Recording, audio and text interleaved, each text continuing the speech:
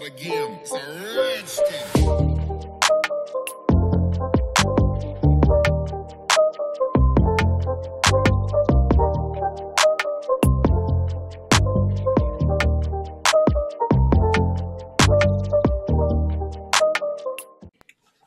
자, 안녕하세요. 반갑습니다. 뚱피디입니다. 자, 우리 여러분들, 우리 여러분들을 위해서 비공개 파일을 공개하도록 하겠습니다. 어떤 비공개 파일이냐면요.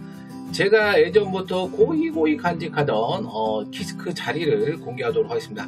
오늘 지금 방송은 벨루스란 어, 천족 편이고요. 어, 다음화는 인테르니카 마족 편으로 두 개로 해서 준비를 했습니다. 제가 예전에 천족도 하고 마족도 했었는데 그 이유는 안 가르쳐 주겠습니다.